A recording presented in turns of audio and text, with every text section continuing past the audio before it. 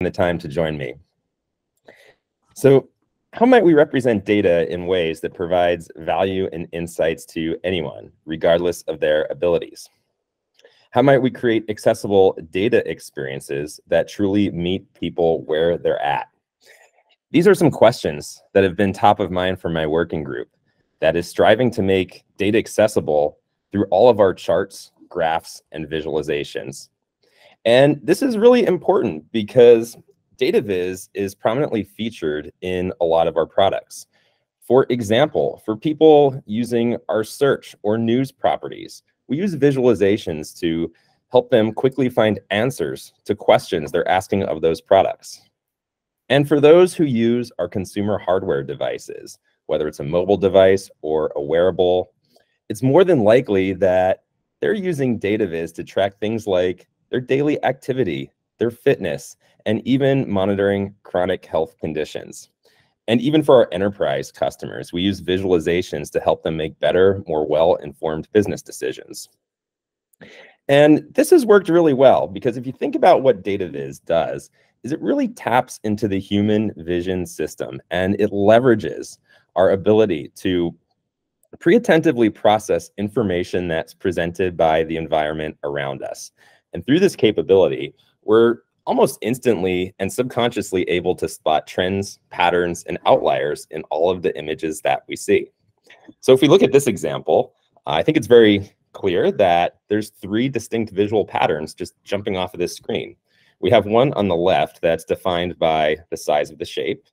We have one in the middle that's defined by the use of fills versus borders. And then we have one out on the right that's defined by the type of shape circles and triangles. Now, if you start to think about these different elements or characteristics, if you will, uh, size, borders, fills, shape type, these are all examples of visual variables or visual encodings. And these attributes or characteristics, if you will, are essentially the building blocks to all visualizations. And of course, when you start to think about that thought process, uh, this is how we're able to use visual encodings and tap into the human vision system to make visualizations glanceable, um, enabling us to process them a lot of times faster than we can process text. So that's all well and good. And if we look at this visualization, um, this was something that we created during the pandemic to help people understand the geographical distribution of COVID-19 cases. I think we can all agree that this is fairly glanceable and it provides a lot of just instantly viewable insights. Now, while that experience might work for a lot of us, for some of us, this is going to be the experience. For others, this might be how they experience the visualization. And for folks who are blind, this is going to be the experience. Now, in all of these examples I just shared, we're starting to miss out on all of those, all of the value, uh, the insights, glanceability, these details provided by the visualization to someone who can see it in its entirety. So in America, we know that according to stackexchange.com, over 4 million people rely on assistive technology to consume web content. But we also know that there are millions of other people who are not using assistive technology, trying to view these visualizations and interpret them. For example, we know that about 300 million people worldwide have color deficient vision or color blindness. And there are plenty of other um, vision disabilities out there we need to consider. So when you look at these numbers, we're actually looking at the order of millions to hundreds of millions of people we need to consider when we're crafting um, data experiences. And it's important that we think about accessibility here because we want to ensure that folks really have a seat at the table and they're able to consume the information that we're creating. So about two, maybe two and a half years ago at this point, um, I co-founded a working group inside of Google that has been striving to make data accessible um, to, to different groups around the world. And uh, today I'm going to share a few lessons that we learned on that journey. And right out of the gate, I'm just going to share the first lesson that this is really difficult. So it's easy to make an experience accessible if you're looking at it from a compliance standpoint. But accessibility becomes increasingly more difficult if you're trying to make something that's actually useful. Then if you think about the other end of the discipline, data visualization, that can also be very difficult to do well, at least in terms of making something that's actually useful. And when you start to combine those two disciplines, data visualization and accessibility into data accessibility, you really feel like facing this tangled, gnarly mess of a design challenge. So right out of the gate, this is this is really difficult. So I want to share a few lessons learned along the way as um, you know we've been researching this topic over the past few years. And first, I want to focus on those hundreds of millions of people that we should consider that are not using assistive technology. And there's some really interesting visual design challenges that come up here. So let's take a look at this example. This is a digital well-being chart. And I think we can all agree that the color palette here is very calm, it's cool, it's collected. It probably fits within this theme of well-being, kind of feels a little zen. But the fact of the matter is, for somebody who has a protanopia condition, this is how they're going to experience this chart. And you'll notice the top two categories, other and uh, the YouTube category, uh, denoted by the the top two segments in this donut chart are nearly indistinguishable from one another. So now this is a bit more difficult to read. And for folks who can't see any color, uh, this is going to be the experience. And in my humble opinion, this is just a waste of screen real estate because this chart is no longer readable. Uh, so get the data table back uh, because this is this is pretty much useless uh, to experience it this way. So, so what do we do? Um, a lot of times we start with web standards. And if we look at WCAG standards or Web Content Accessibility Guidelines, uh, they call for this need to meet uh, color contrast criteria. And what I mean by that is each color needs to achieve a minimum of a three to one contrast ratio with its neighboring color. And this is this is graphical color, so all the the data ink that you would imagine in the chart. If we're looking at text, that contrast ratio bumps up to a 4.5 to 1. So when thinking about these recommended ratios and the standards, um, this is an example of a palette that would achieve that. And I think we can all agree it's, it's nice and, and bold. And when applied to a chart, it might look like this. Now, there's something interesting about this because if I were to tell you that the most important metric in this chart is represented by the red segments that run along the bottom of each stacked bar in this series, I think we can all agree that it's actually kind of difficult to, to see that because now we have three colors that are very bold following these accessibility standards that are equally competing for our attention. So one thing that we started to learn along the way was to use color contrast in a way that still enables you to read all the elements in the chart, but draw focus to what matters. So we're going to do a little bit of an experiment, and maybe you could even consider this a little bit of a magic trick here. But we're going to use outlines instead of fills um, for some of the upper bars where the outlines achieve the contrast ratio, but then the fills are a bit lighter. And now you'll notice um, our attention is actually brought down to the metrics that matter most in this visualization. This is something that would still pass um, an accessibility audit. So this was kind of an interesting trick that we had learned early on that we started sharing with, with feature teams across Google uh, because we felt it was really important to still draw focus to what matters yet stay accessible. So this is right out of the gate, a lesson learned that uh, we found very useful, using a combination of fills and borders to focus on the metrics that matter most. So let's go back to our donut chart here, and we're going to upgrade this. And okay, now color contrast is better. We even use this combination of borders and fills just to kind of even out the, the focus and focal points of this particular donut chart. Now, there's still an accessibility problem here. And that is because color is our only encoding. And what I mean by that is it's our only way of connecting uh, segments in the donut chart to the corresponding legend items. So you still need to be able to read and interpret colors to do this. So another requirement is to think of using a dual encoding or something other than color to convey the same meaning.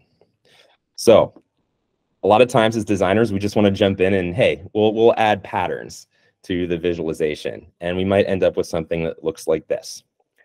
Now, we have to ask ourselves, in this particular example, is this still a glanceable visualization? There's a lot of visual vibration here. Yes, it, it checks all of the compliance boxes, but is this something that is still glanceable? Is it readable? Is it useful?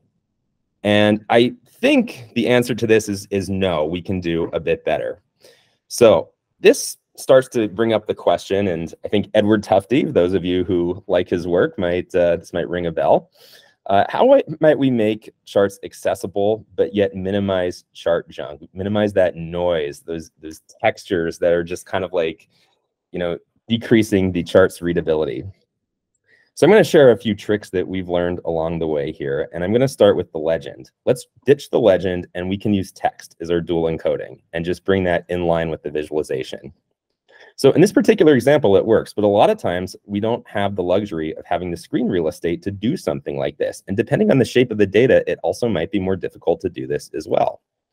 So we might be able to use something like iconography to represent categories here. And you can connect the diamond and the dot to the corresponding regions and countries in this particular legend. In this particular case, we've also leaned into this idea of using borders and fills on the stacked uh, area chart to also draw focus. And of course, if there's a metric that might matter a bit more to a viewer here, uh, we can paint that with a darker fill color. Now, some charts have a lot of categorical um, comparisons going on, or a lot of categories. So I think we've all seen this tangled mess of a line chart example on the left. So we might have worked with uh, some engineering teams who asked us to just cram as many categories into a visualization as possible. And in this case, it's, it starts to get really difficult to be able to, to pull out the, um, the comparisons between these categories. So in this case, it's nice to kind of just go back to the basics and think of how might we just redo this entire chart, in this case, breaking it out onto spark lines, where now we no longer have to rely on color, the spark line example being on the right here. And arguably, for someone who is fully sighted, you can actually read the individual trends um, a lot more effectively. And from an accessibility standpoint, we no longer have to rely on dual encodings because we don't rely on color to convey meaning. And we can also apply text to each of the individual rows in this example. We've also thought a lot about just representing status in our tables. And something that we learned with working uh, with people who are colorblind, especially folks who are red-green colorblind, is that it's easier to think about how might we use um, a combination of borders and fills to draw focus to what matters in a table. So that way, someone who can't differentiate between the red and green colors here can scan the table for the fills and actually find the items that matter most or might be in some sort of error state. And then, of course, we started thinking about how might we make some of these metaphors a bit more relatable. Uh, so in Fitbit, we actually just launched um, an update to our app, and we thought a bit about accessibility here. And we thought about ways in which we can make the data a bit more relatable. So for example, we have these different activity zones that you can see. And the way that we represented them is with dotted lines. And we played with the spacing between each of those threshold lines, the dots within those lines. And you'll notice that there's actually a visual rhythm here. And since we're showing heart zones, the higher the heart rate zone or higher your heart rate goes, you'll notice the threshold lines are closer together so that it almost implies that there's this kind of vibration going on that matches the rhythm of a faster beating heart the higher that you go. Now, sometimes, you know, the way that we think about this isn't as straightforward. These are really difficult challenges, especially to do well. And um, we've taken inspiration from areas outside of design that really influence the way we think about this. So for example, we look to nature to think about how we might create a better visualization that shows weather patterns um, in the atmosphere. We also look to printing processes like halftone printing processes to think about how we might make a more accessible heat map with a dual encoding. And we also look to areas like architecture and how people move through a space or a building to inspire how we might create a better progress indicator. In this case, using animation to show that this chart is actually filling up to 100% rather than draining down to zero and also giving us the, a sense of the full scope of this visualization, even when it's empty. So what we found in all of these examples is that it's much easier to think about accessibility first rather than trying to retrofit it to an existing chart because that's when we found ourselves going down this path of adding unnecessary chart junk. So think about the standards first. They're very challenging to work with, but in doing that, I promise you, it can lead you down a better path.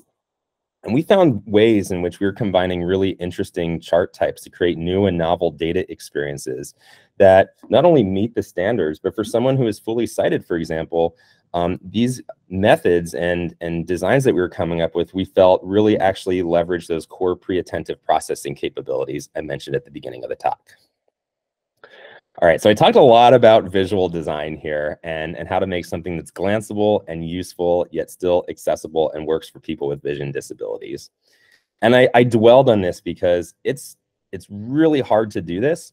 And it's something that takes a lot of advocacy within your organization.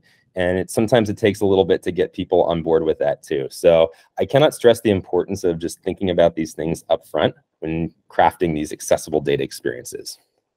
All right, now let's switch gears. Let's talk about um, designing for folks who use assistive technology and some lessons we learned along the way there. And first and foremost, and I alluded to this in the previous example, but it's really important here as well, is to build a diverse team and, and really work with people um, with um, an array of disabilities and people who use um, assistive technology as part of their daily lives. Uh, once we started doing this, it really just kind of changed the way in which we thought about a lot of these uh, data viz challenges. So I'm going to name a few here. And the first is how might we structure a chart so it's easy to navigate with a keyboard. Now, this is going to be useful for people who are using assistive technology and especially uh, folks who have uh, limited uh, mobility and motor skills. And I want to look at this example. This is a network graph that was offered by LinkedIn a few years ago, and it was part of a, visualiz a visualization tool that enabled you to visualize your, your LinkedIn connections in your network and, and how they're connected to one another. And I want to do a bit of a thought experiment here. I want to ask you, how might we navigate or how might we design uh, a keyboard navigation experience for a visualization like this? And I, I, think the first thing that might come to mind as well, you could just tab through each of the nodes and learn a bit more about how those nodes are connected to one another.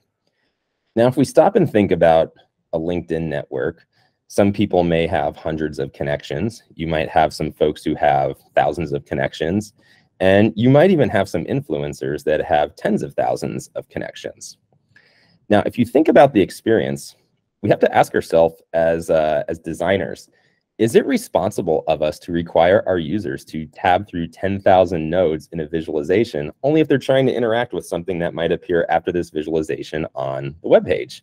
I think the answer to this is a resounding no. So what are some alternative methods that we could use here? Well, we could think about this a bit more hierarchically. So for example, you'll notice that some of these nodes are color-coded.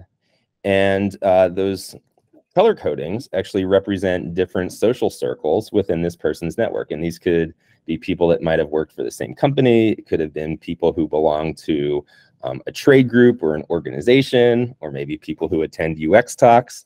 Uh, it could be, uh, for example, folks who go to maybe attended the same school or university. So it could be that we think about this a bit more hierarchically.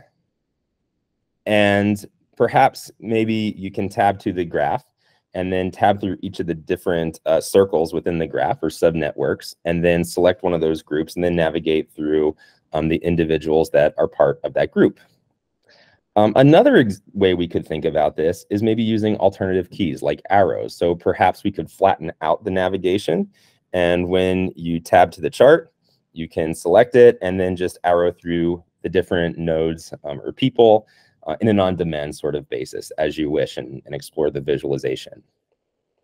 And if we think about, you know, what is the what does a network graph do really well? A lot of times it enables you to locate the most uh, influential nodes, or in this case, people in the network. So maybe we could employ sh uh, keyboard shortcuts and uh, that only take you to um, people who are influencers or navigate to those more connected nodes on this particular uh, visualization. So I threw out three options here, and we're not going to profess to solve this today, but the idea is that how we would solve it is we do it in a way that gets back to the core use case of this visualization. How do we set up the navigation so we can enable people to quickly explore the data, even um, quick, more quickly find answers to questions uh, they're asking of that data? So a couple things we learned along the way here is using alternative keys um, to help people find answers to those questions in the quickest method possible. They're asking of the visualization.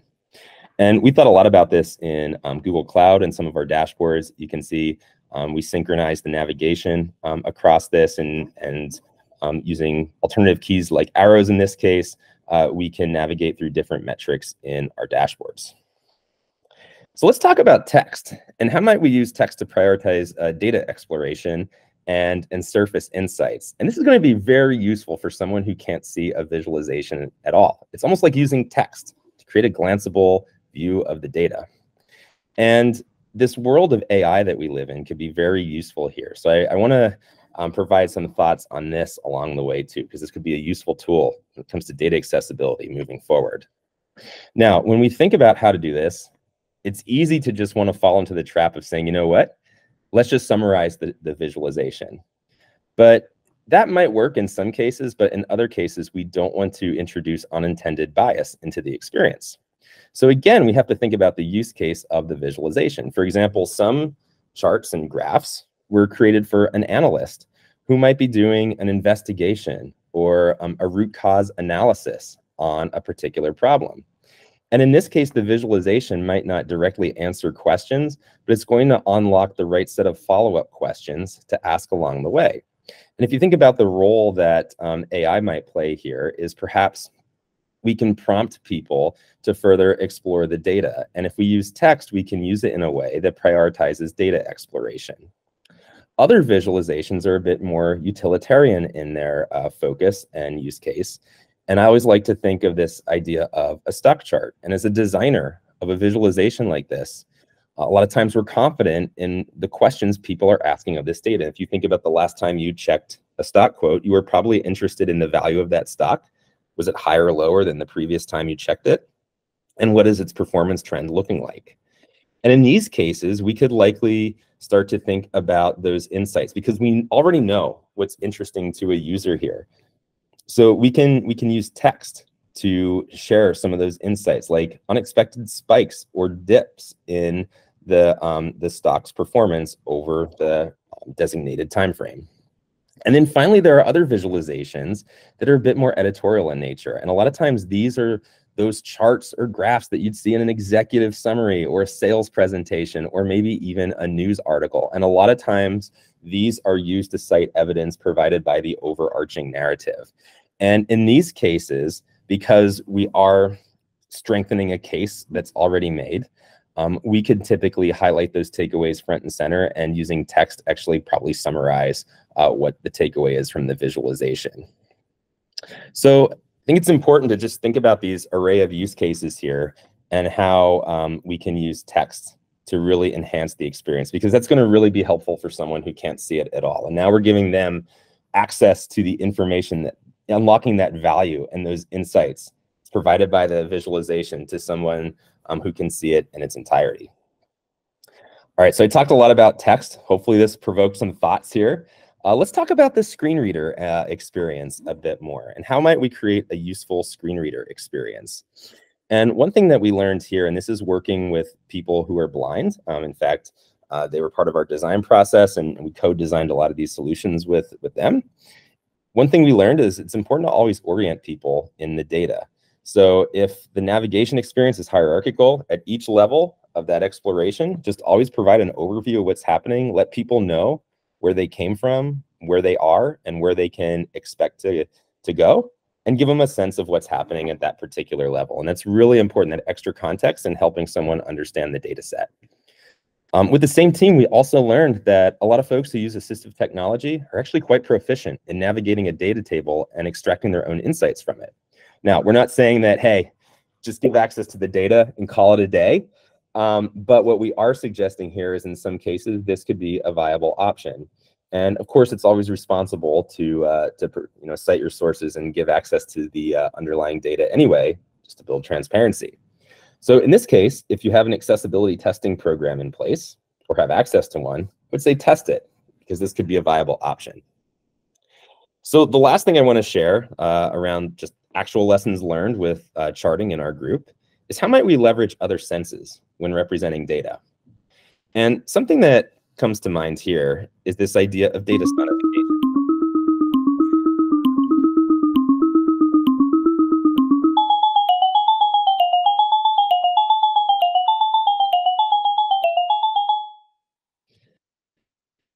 And data sonification, as you could see by that demo, is using sound to represent data.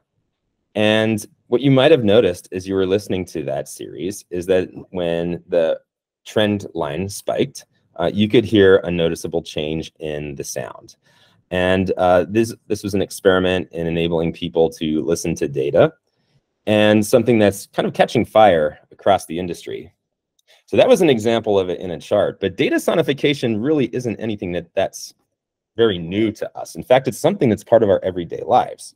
So for example, in America, an ADA compliant elevator, a lot of times will use data sonification. And if you've taken an elevator and um, right before the doors open, you might have heard a chime.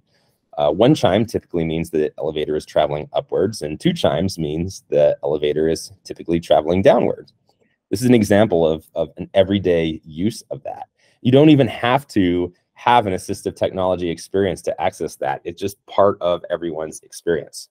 So something we learned in thinking about our experiments with sonification that actually are available in our in our line chart GCP to um, through our assistive technology experience, and thinking about how sonification is applied to daily life is how how can it just be part of the core experience, something that everyone experiences. So now we don't only have to see the data, but we have a way of listening to it as well. All right, so these are some lessons that we've learned over the past two years as we, have been working with teams across Google, but I wanna talk about making it happen uh, because it can be really difficult to get folks on board um, with, with making a case for accessibility. And these are hard challenges to solve that require time and, and engineering capacity and uh, collaboration time with groups. It, it can be expensive. Well, there is a business case for this, and we know according to Annie Jean Baptiste's book in 2017, there was, a, as of that point in time, there was a $1 trillion market uh, for consumers with disabilities. We also know that charts, graphs, and visualizations will block an accessibility audit. And as I started to work on this and join the team early on, this was something that I learned very quickly. And as we start to think about the European Accessibility Act and some of the ways um, accessibility is enforced, uh, from a liability standpoint, this becomes really important and starts to become easy to make this case uh, for accessibility. Uh, so here at Google, we started a working group. Um, we realized there was a, a, need for this type of thinking. And historically, we were always making our, our products accessible. Compliance was really important to us. But the spirit of this group is how do we transcend compliance and make something that's actually useful? So we formed our working group uh, with some teams across Google because we knew this was on the minds of other designers and engineers in the organization. Uh, we started the Data Accessibility Working Group, which we so lovingly refer to as DOG. And during that time, uh, we were able to start to solve some of these problems. Now, I want to share some lessons learned here because this is more about community building. So if there's a cause that you're working on or something you believe in or something you might want to explore more that could benefit your customers in a, in a meaningful or impactful way, uh, I'm going to share some lessons learned in forming a community internally that can enable you to forward your thinking and advance your ideas. So our accessibility working group, the idea was that we would get everyone together. We would see what problems were already solved, learn from each other. So then we wouldn't spend our limited time and resources solving problems that were already solved or reinventing the wheel, so to speak. We could focus our time on those challenges, those unanswered questions that um, we still needed to work on.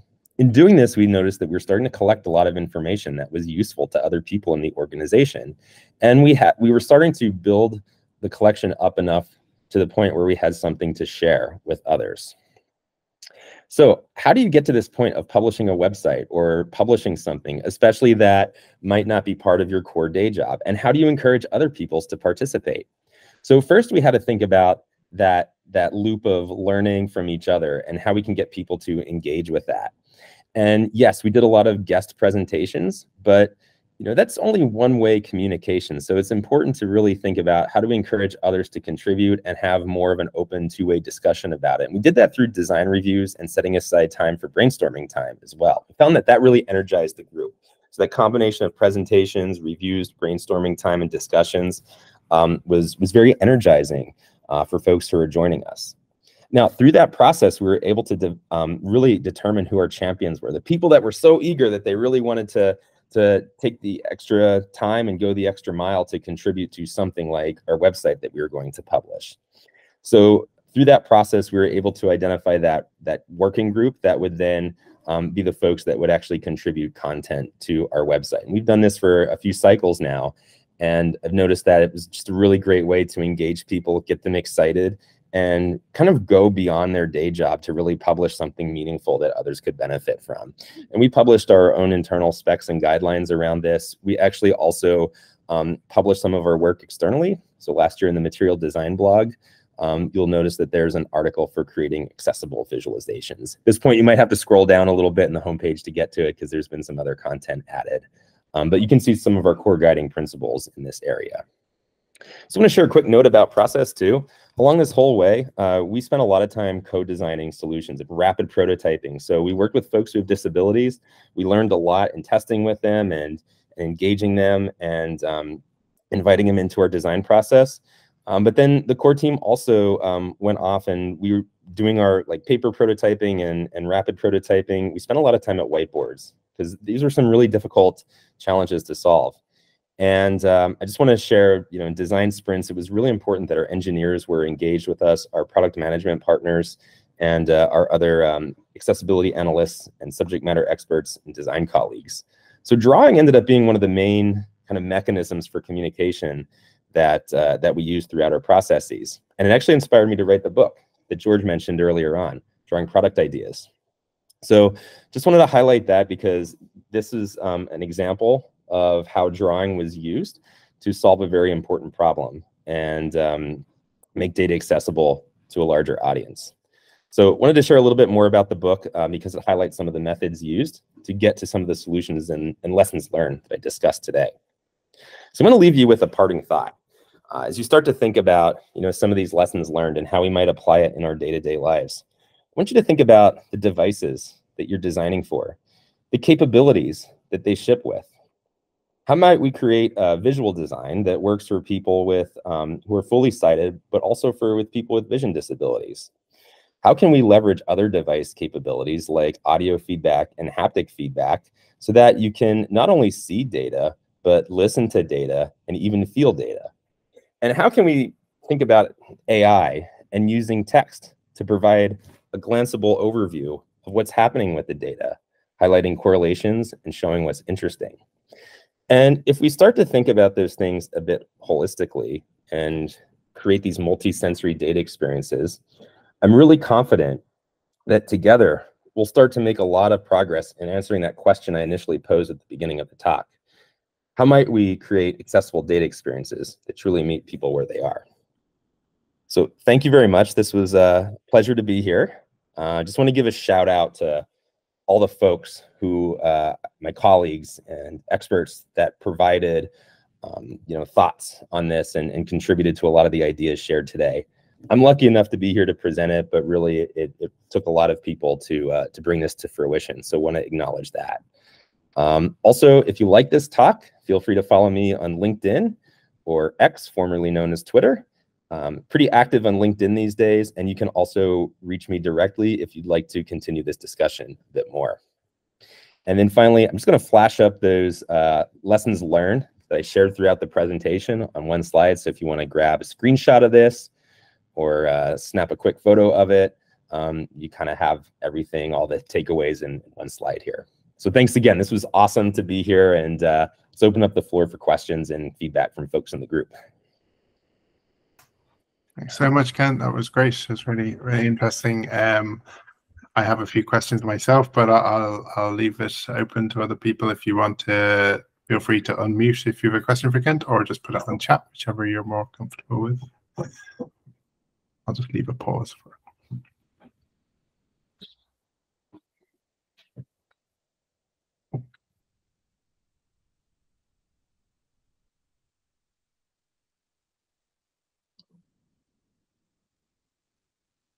I'll start with one of my questions then. yeah, hit me with it, George. um, so I was I was wondering first of all, I'd be interested about in hearing about how you tested these uh, data visualization ideas, especially with the different uh, like groups of people you would need to test with them with, and if so, how you approach that and process, I guess. Yeah, that's a that's a really great question. So there was um, a lot of times we were we were testing with with people um, using a screen reader or assistive technology for for some of the uh, latter parts of the the presentation. Um, the best part was because um, a lot of the folks were a core member of our team. It was easy to just rapidly test and do rapid research with them. So a lot of times what we would do is we we get a prototype together. We had a, a very dedicated eng team um, who was very proficient at building at building prototypes. Uh, we'd get something in the code pretty quickly. It could be low fidelity, um, but at least you know the screen reader announcements were there. The basic assistive technology experience was there, and then we test it. And it was interesting because one of the first times we ran a test, we learned very quickly. Um, the the person who was uh, the participant basically said, "Hey, um, I have no context for this visualization. I know where to navigate, but like."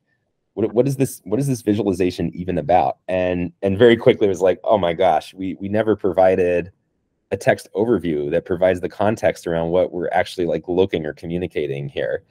Uh, so basically that was kind of like a first step. We added that and then okay now this person could get into the experience and have the context. And then we just kind of like worked through the end-to-end experience um, improving it along along the way. So we would basically test one day we'd go huddle as a team, sketch out a few ideas, get them in the code pretty quickly, and then by the end of the week, running a new test. And through that process, I would say it took about uh, a few months. We were able to start really kind of fine tuning how we were communicating this information in that experience. But that was really helpful because a lot of the feedback that we got along the way, then as we started making more visualizations, we were actually in the in the business of running a component library um, we already kind of knew what to how to handle it and then the the testing became easier. But every time we did it we learned something new. So it was it was kind of very very iterative and, and very rapid. And then once we got it to a good point then we realized okay like we have our own internal accessibility audits. We could put it through that formal process or if we were working with a team that was going for a vpat um, trying to publish it or an accessibility audit um, it would be ready for that review and we could feel confident it was going to pass it yeah, that's really. I hadn't really considered actually that you would need to do like a prototype that works on. A, if you need to do a prototype that works on a screen reader, it's got it can't just be like yeah a, a Figma prototype, or it's got to be coded up to some degree. Yeah, and, and like I think you can, you know, Figma's Figma's great. I know as designers, it's a tool that's really popular uh, with data viz. I mean, even even just building visualizations, I think it's important to start with the actual data that you're going to be using, or if you have a pretty accurate representation of it and and start prototyping as soon as possible. Because even there, you'll see kind of like the edge cases. You'll understand like um, the shape of the data that you're working with, and it will inform some of the design decisions you're making along the way. And if you're treating accessibility as a first-class citizen, uh, which we all should be, we'll start. You could use the screen reader experience or assistive technology and see how it kind of works with that too, and, and tweak it as you go. Yeah, I think the the the point you made as well about the people knowing their place in the data um, just made me think a bit about the kind of left to right and right to left flow differences when you're designing something for a different audience who are going in a different direction. That's one mm-hmm. thing. Then to have a place in to know the context of the where you are in the, in the data itself is another challenge.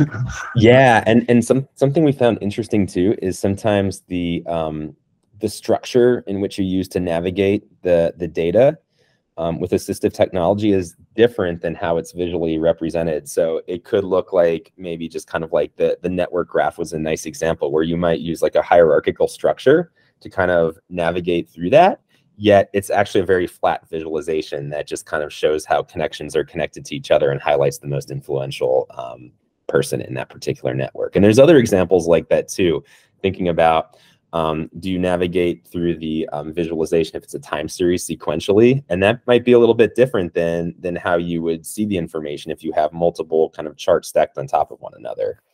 Um, so it, it, gets really interesting and uh, it's really important to just kind of experiment with that because it, will just unlock a lot of new ideas, especially um, in that assistive technology experience. Yeah, definitely. Um, I will ask an AI question. I know it's probably uh, people are probably sick of AI questions at this point, but I was wondering um, if you would have, if there's anything you would approach differently, say forming this project again, or is there anything that you would have been able to use that would have been helpful for using AI tools? Do you think? Yeah, that, that would be interesting. I think I think in the testing process, it could have been interesting just to kind of see how AI interpreted a data set, um, especially like early on when we were were doing this. And I know like AI can hallucinate and stuff like that too. So you might not get the best interpretation, but just even having an understanding of how what the capability was there and how it might approach the problem um, could unlock a few ideas of how we could craft a, an optimal screen reader experience or providing, you know, a, a text-based like glanceable view of of the data.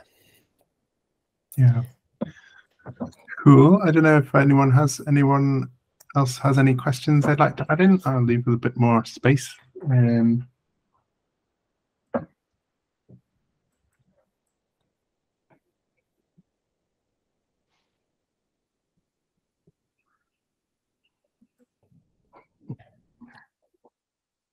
Sorry, Mark, I wasn't sure. Were you unmuting or was that? Sorry, yeah, my camera is a bit lopsided at the moment. Um, yeah, I have a question for Ken. Yeah. So, um, what, what do you use for prototyping? Do you do you code your stuff, or do you use more designer-friendly tools? Yeah, it, it kind of varies. For the the prototypes mentioned, especially in the accessibility segment here, a lot of times we use um, we worked with an engineering team that was building Angular components. Um, a lot of times we'll build prototypes in Vega Lite or D3 um, just to kind of quickly get something together. So that's that's pretty useful. Um, sometimes we do um, we'll use like observable notebooks too, just to kind of like um, enable folks who might not be as familiar with code to just kind of visually tweak some of the visualizations too, and kind of understand how they work. Um, if we're looking at uh, some of the visual design examples I shared earlier, uh, then a lot of times we'll kind of use Figma um, just to kind of mock up a few ideas, especially when we're just experimenting around with focus, or again, like use observable and actually use the real code to to think about how we can um, improve that uh, experience too. And then of course, like there's a lot of uh, tools out there for uh, checking color contrast um, and stuff too. So a lot of times we'll use those along the way too, just to make sure we're keeping our our decision making in check and it's still compliant and whatnot. Okay, thanks. Yeah and you could just for the color contrast tools you could just do a quick google search. Um, there's a few i like the one on webaim but um, uh, there's like a, a, few others that factor in like opacity and stuff too that uh, that people really like. Okay. Is, is google working on a, a data viz uh, library? Uh, well we had the uh, google charts. Um, a lot of times our libraries are more internal so you'll see them the different libraries kind of manifested in different product areas. So the component library that I had worked on initially um, is part of Google Cloud Platform, um, hence some of those uh, specific examples there. Uh, a lot of the testing that I had described with our working group that was actually applied to a lot of the visualizations in Google Cloud, whether it was working with folks who are colorblind or working with people who um, who use assistive technology in their their day-to-day lives. And again, this was all in service of transcending compliance and going that extra mile to think of how might we create um, a useful experience. Okay, great.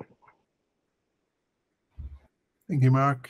Um, I do have one question I would like to ask actually, um, and maybe as a as a last question, but um, a couple of situations in my past have been obviously people start to see the value of accessibility and and doing things to the standard, both for financial and other reasons. but um, it, how would you approach a, a, situation where you need to retrofit um, standards to an existing product. I think it's quite a common uh, yeah.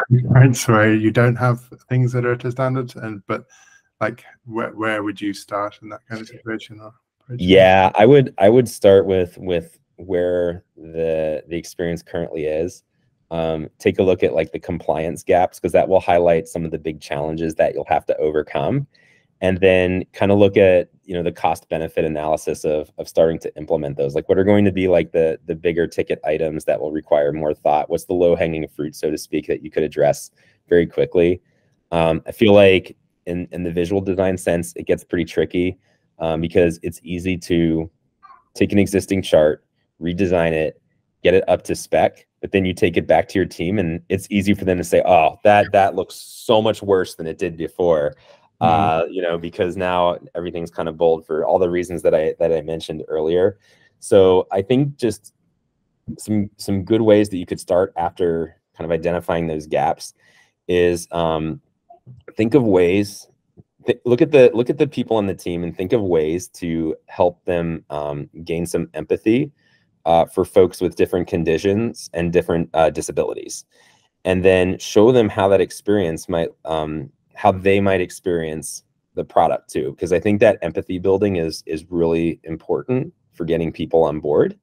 And then once they're on board, then start looking at the challenges of like, okay, we have these standards and these constraints how can we start to pivot and look at them more as opportunities and i think once you have allies on the team and people on board it's easier to work together to sprint with them do workshops and then start to kind of knock out the different gaps on you know that that you have to address and, and retrofit to your uh, previous experience and and some of the some of the um, lessons learned early were when we were like doing just that. So sharing that example of, okay, we have to meet contrast requirements, but now this chart is losing focus. Oh, we can use outlines with like lighter fills, for example, to, to enable the visualization to be readable, but still now meet these, these, um, these standards that we're now striving for that we might not have earlier been. Yeah, I thought that was yeah, that was a nice a nice little trick yeah. actually with the strokes and the and the film. Yeah. that, that one. Um, yeah. Cool. Um, I, I would also throw in too, if there's ever a conversation around dark mode, there's uh, a lot of I've seen designers just you know when asked why why do you have a dark theme or do you do you prefer one or the other, I, I've seen designers say, hey, dark mode just looks cool or a dark theme looks just nicer. Uh, but there's actually an accessibility benefit here too because um, if you're trying to meet contrast requirements, um, when colors are overlaid on a darker background, you actually have a wider range of shades that are going to meet the desired contrast ratio on a dark background than you would a white background. So it's still easier to draw focus. And um, it's also good for folks um, who have like contrast sensitive vision, for example. To to think about that as well. So um, there might be some other tricks that could kind of map to other initiatives on a roadmap, like where folks might want to do a dark theme but not have a good reason, and now you have a good an accessibility reason to do that. Yeah, I think we're always looking for. I personally am always looking for more reasons to use dark mode. yeah, more justification for it. Uh, yeah, I would. I would also say too. A lot of times, um, we've had we've had um, in the past, not not necessarily here, but um, uh, at other places I worked at just asked like, hey, are we spending too much time on accessibility? Should you know, do people are are the only people who care about accessibility the people who need like ex, like considerations for accessibility or people with disabilities? And I, I still truly think that if you think about it up front, you can still land on a, something that's better than uh, a solution that was better than um, you would have landed on if you didn't think about it. And hopefully some of the visual design examples kind of alluded to that, especially towards the end of that series too, or thinking about like using data sonification in, in everyday experiences and stuff like that. Yeah, definitely.